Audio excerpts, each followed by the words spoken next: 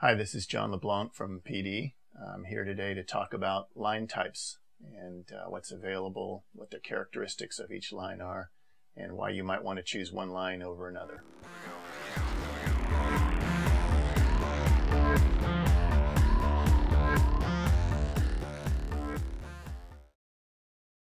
Uh, we have Dacron, which is super forgiving, easy to use, uh, reasonable wear characteristics lots of elasticity, which takes the edge off of uh, the occasional strange opening.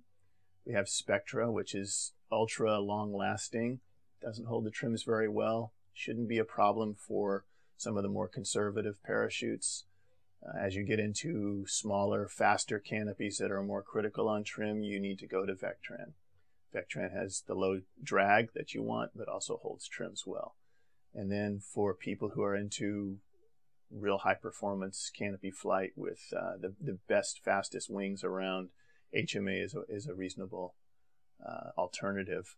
Uh, a little picky uh, when it gets loaded near its uh, near its ultimate strength, but it's it's good stuff if you respect it for what it is and what it isn't. Now, I've been talking in general terms about these different lines, HMA, Vectran, but I want you to realize that just because a line is Vectran or just because a line is HMA, it doesn't mean that it's all the same.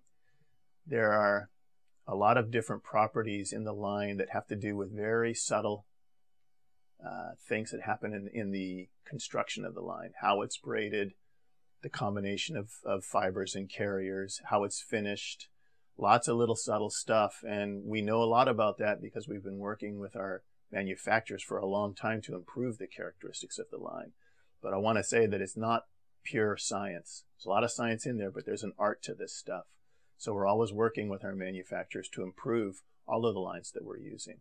So when you think about what's coming next, you might find uh, some surprises. Maybe there'll be some new space age material that'll make all these lines obsolete. I doubt it, but it's possible. But I think you might find that with continued subtle improvements in the weaving, the finishing, uh, that you might find uh, some improvements in some of these characteristics that I've been calling limitations on these lines. So it's going to be an exciting next couple of years in that regard.